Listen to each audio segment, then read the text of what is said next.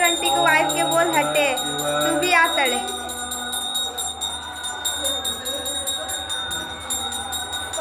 Post मत करिएगा इसी तरह। आप यूट्यूब चैनल सब जानते हैं। हाँ आपको लाइक कर देंगे हम सब सब्सक्राइब हाँ। एक मुँह में स्टिकर